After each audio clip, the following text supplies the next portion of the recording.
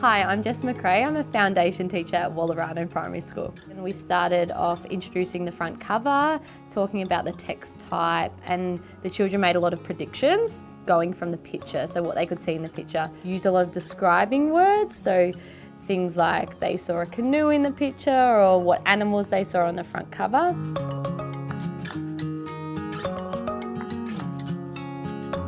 Can you have a look at the front cover?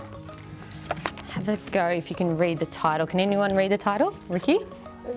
Amazing eyes. And what can you see on the front cover? Does he have big eyes or small eyes? Big. Are they as big as your eyes? No. No, they're a little bit. Do you think bigger or smaller? Smaller. Smaller. All right. Now, if the title says Amazing Eyes, what do you think it's going to be about? Eyes. All right. What kind of story is this? Is it a fiction or a non-fiction? Non-fiction. Non-fiction. And what does non-fiction mean, Jessica?